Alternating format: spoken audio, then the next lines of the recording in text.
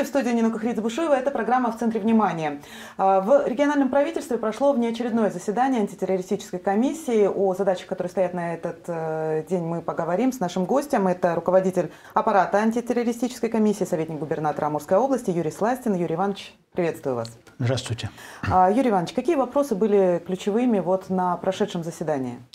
Ну, в эту повестку заседания был, был включен вопрос э, меры, принимаемые органами исполнительной власти местного самоуправления при поступлении информации о ложных анонимных сообщений. Ну и второй вопрос э, – это текущий вопрос меры, принимаемые по обеспечению безопасности в период проведения майских праздников. Да, действительно, до майских праздников совсем ничего осталось, и это, э, как правило, очень а, массовые гуляния. А вот какие сферы отрасли учреждения сегодня вот под особым контролем находятся э, вот в сфере антитеррористической защищенности?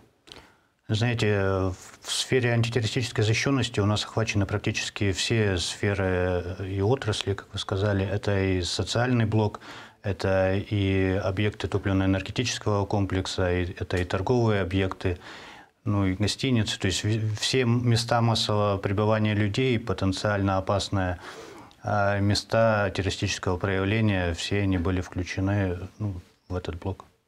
А что касается ложных анонимных э, сообщений, это то, с чем приходится, к сожалению, периодически сталкиваться. Вот какая сейчас ситуация? Ну, в нашем регионе ситуация достаточно неплохая. Вместе с тем, по данным правоохранительных органов, за прошлый год было зафиксировано 32 ложных анонимных сообщений, из них 15 – это телефонный терроризм, так называемый, 17 – это а, сообщения, которые поступили посредством электронной почты или IP-телефонии. То есть, получается, э, телефонные вот эти сообщения, они все-таки э, сейчас их количество уменьшается и чаще обращаются именно посредством э, вот, электронной почты? К сожалению, да. А есть какая-то специфика? Ведь электронную почту создать на самом деле достаточно просто, но все равно оставляют следы. Как отслеживать, может быть, блокировать? Какая работа вот, в связи с этим э, проявлением проводится? Ну, до достаточно сложный вопрос, потому что э, электронная почта у нас э, всегда, как вы сказали, уже меняется, IP-телефония, подменные номера. Э, эти, эти вопросы, эти проблемы мы обсуждали на комиссии и попытались выработать определенное решение. А какой вообще алгоритм действия? Вот э, мы понимаем, да, все э, прекрасно видим, поступает э, сообщение – а, да, э, ну, потом понятно, что оно ложное, но э, сразу же реагирование идет э, на все сто процентов. Да, в обязательном порядке у нас по инструкциям оперативных служб при поступлении ложного анонимного сообщения, любого сообщения об акте терроризма, а все оперативные службы, это ФСБ, МЧС, а, полиция в обязательном порядке, они действуют по определенному плану, то есть э, проводится комплекс мер, в том числе эвакуация. А, ну, ну причем так. тут э, да, абсолютно разные ситуации могут быть. Одно дело, когда а, какой-то торгово-развлекательный центр э, эвакуируют, там все-таки люди в верхней одежде, если прохладное время да, года.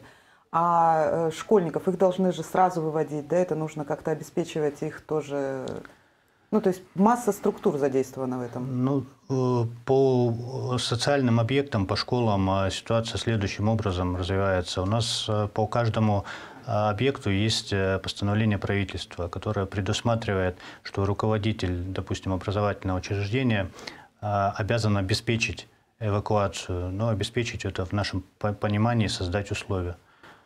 Вот. Э, и на комиссии как раз обсуждался этот вопрос, что ну, поступают жалобы. Буквально 14 числа в Министерство образования и науки пришло письмо от э, Совета матерей Амурской области с просьбой разъяснить действия э, оперативных служб, ну, связанные с тем, что ну, дети эвакуируются, дети увозятся куда-то, но вы должны понимать, что это моральный выбор. То, то есть, допустим, если а, допустим, по инструкции обязаны эвакуировать да, детей, то вот э, события, которые произошли э, в городе Казани, э, директор школы принял совершенно другое решение. Он взял ответственность на себя и дал команду ну, забаррикадироваться, ну и детей не выпускать из школы.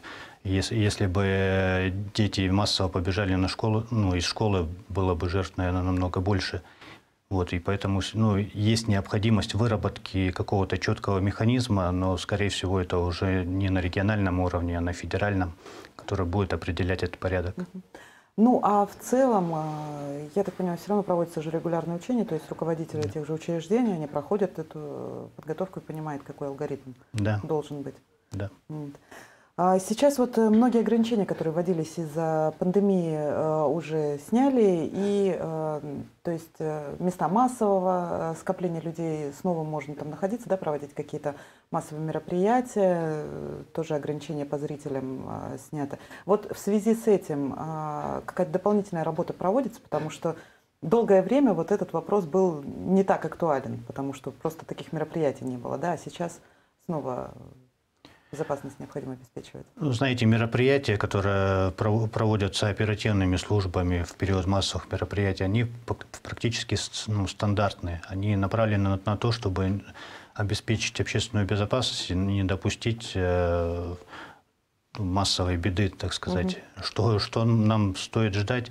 Ну, конечно, вы понимаете, у нас э, всегда в обществе есть ну, какие-то люди недовольные которые могут, там, допустим, ну, организовать какие-то там мероприятия, пикетирование там, или еще там что-то. Конечно, есть хулиганы, которых нам ну, э, нужно останавливать, и для этого мы проводим расчет сил и средств, чтобы эти мероприятия все пресечь. Да и ряд других э, мероприятий, которые, в принципе, должны оградить население там, от э, каких-то актов незаконного вмешательства, они направлены на ту работу, которую мы проводим в рамках комиссии. А, впереди майские праздники, достаточно продолжительные, и э, наверняка будет проходить э, очень много акций в различных точках, э, там, в каждом, пожалуй, муниципалитете. Да? Какая подготовка сейчас ведется?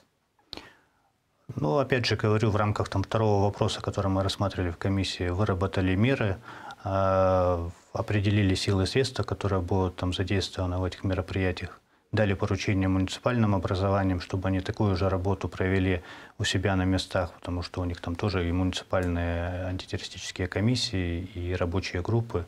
Ну и э, все направлено на то, чтобы мероприятия, ну и все эти праздники прошли у нас спокойно. А в антитеррористической э, комиссии, я так понимаю, все структуры, э, которые принимают участие да, вот э, в организации безопасности, все, все входят? Да, антитеррористическая комиссия региональная – это коллегиальный орган, в нее входят практически все оперативные службы, ФСБ, МВД, МЧС, а представители органов исполнительной власти, правительства. Ну вот на комиссии было принято решение включить дополнительно еще в состав комиссии начальника управления региональной безопасности, противодействия коррупции и министра юстиции, потому что много правовых вопросов возникает. Угу, угу. А в целом, какая работа ведется в области по обеспечению э, антитеррористической безопасности? Да, основная задача антитеррористической комиссии – это профилактика терроризма. Поэтому ну, существует комплексный план противодействия э, терроризму, рассчитанный на 19-23 года. Там целый перечень мероприятий. Это и антитеррористическая защищенность мест массового пребывания, и социальные сферы, и проведение э, профилактических мероприятий, патриотических мероприятий с молодежью э, по делам национальности, ну и ряд, много, ну, ряд других мероприятий. То есть профилактическая работа да. – это часть обязательная, которая… Да также запланировано проводиться. Что спасибо огромное э, за интересную беседу. Мы говорили с советником губернатора Амурской области, руководителем аппарата антитеррористической комиссии Юрием Сластиным. Благодарю вас за спасибо. беседу. Это была программа «В центре внимания». Меня зовут Нина Хридзибушуева. До встречи.